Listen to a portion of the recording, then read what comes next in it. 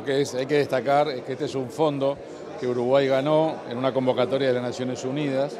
Es un fondo de capital que apalanca a la banca privada para hacer más viables y bajarle las barreras a proyectos de renovación energética, proyectos que incluyen energías renovables, que incluyen la electrificación del transporte o eficiencia energética.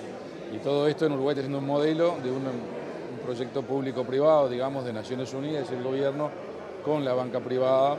Este, y en ese sentido esperamos que pueda ser un puntapié para cada vez más proyectos que introducen vehículos eléctricos, que introducen bombas de calor, que introducen arquitectura sostenible, en fin, todo tipo de proyectos que son valiosos para esta segunda transformación energética que estamos embarcados. Sí, ¿por qué Uruguay es pionero en el mundo en estos temas? Bueno, bueno porque este fondo así público-privado no hay otras, otras opciones. Es la primera vez que la ONU propone un, fondo de este tipo y Uruguay fue seleccionado después de una convocatoria que se hizo en 2020 2021. Eh, ¿Por qué lo somos? Habrá que preguntarle a la ONU, pero eh, la verdad es que creemos que tenemos un, un buen desempeño en materia ambiental, la primera transformación energética que transformó la generación eléctrica eh, nos, posiciona muy bien para este tipo de proyectos y además el gobierno tiene una política bien marcada de segunda transformación energética que también se alinea con todos esos objetivos.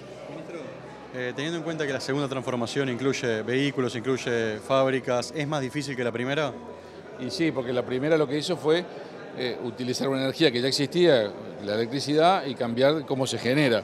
Ahora hay que ir metiendo la electricidad en otros usos que no son los tradicionales, como por ejemplo el transporte, este, y a la vez hay que ir cambiando eh, la forma de uso de la energía para ser más eficientes con nueva tecnología como pueden ser las bombas de calor, con arquitectura sostenible que se preocupa por ejemplo por la aislación, en fin, todos unos cambios que llevan un poco más de tiempo y que implican en realidad este, incluir una sustitución de los combustibles fósiles en muchas aplicaciones nuevas y también cambio cultural de las personas de cómo usan la energía. ¿Otras empresas interesadas están a tiempo de poder presentarse para conseguir esta, este, esta financiación conjunta de Naciones Unidas y de la banca privada?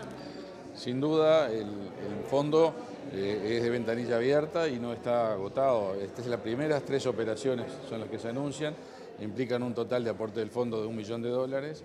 Este, la banca privada aporta otros tres, este, pero el fondo tiene en total 7 millones y medio para esto, así que hay, hay oportunidad de seguir presentando proyectos y esperamos además más adelante que se puedan ir renovando aportes. ¿Quién clasifica a los proyectos? ¿Lo hace el Ministerio? ¿Lo hace Naciones Unidas? No, hay un comité conjunto que se seleccionó para esto y hay una directora de proyecto que dirige las operaciones diarias del, del fondo.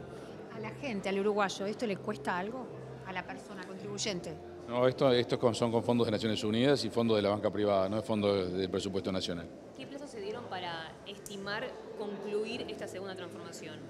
No, la segunda transformación lleva, pasa que cuando hablamos de segunda transformación hablamos de descarbonizar la economía en forma completa, ya que estamos hablando de décadas. El, Uruguay lo que quiere es ser neutral en emisiones para el 2050. Esa es la estrategia climática a largo plazo que se fijó de conjunto con el Ministerio de Ambiente y el Ministerio de Economía y Finanzas y el Ministerio de Ganadería. Esto es una herramienta más de muchas que está, que está embarcado el país. Pero la transformación, la primera fue más corta, en definitiva. La primera fue más corta porque estábamos hablando de transformar la generación de energía. Ahora tenemos que transformar todo el transporte. Ustedes tienen que pensar, por ejemplo, que los vehículos en Uruguay duran rodando 15, 20 años, que irlo reemplazando de a poco lleva igual mucho más tiempo, porque no, no es que todos los vehículos nuevos son eléctricos. Entonces, este es un proceso lento este, ir cambiando los edificios para ser más eficientes también es un proceso lento.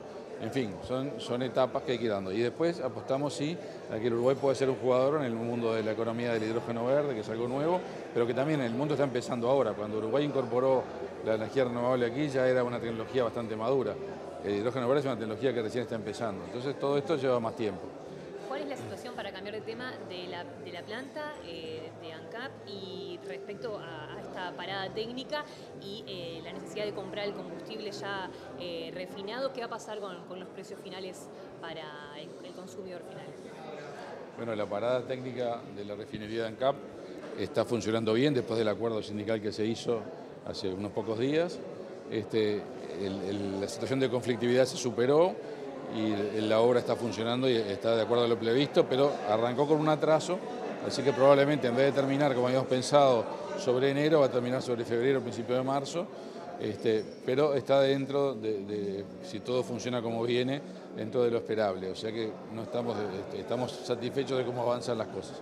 Desde el punto de vista de, los precios de los, de los, combustibles, vamos a seguir alineándonos en lo posible con el precio de paridad de importación.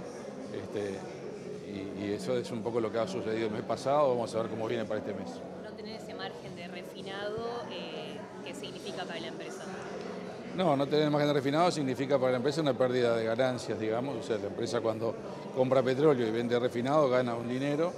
Este, este año no van a ser tan buenas sus cuentas, y, pero estaba, estaba igual planificado el presupuesto. Lo que se nos desvía un poco son esos meses de más de la parada que van a impactar en el balance probablemente del principio año que viene. Absorbiéndolo, absorbiéndolo y no transfiriéndolo al consumidor. La idea es poder manejarse, sí, dentro de eso. Las tres empresas que, que ahora fueron recibieron el dinero, ¿van a ser, son todas uruguayas o son empresas extranjeras? Son, son uruguayas, estamos hablando de una empresa de renta, rentadoras de autos, de una empresa de auxilio mecánico, que van a ir cambiando sus flotas, este, y de un hotel en la ciudad de Colonia. O sea, estamos hablando de empresas nacionales. No sé los propietarios últimos, pero son empresas que son, no son multinacionales, digamos.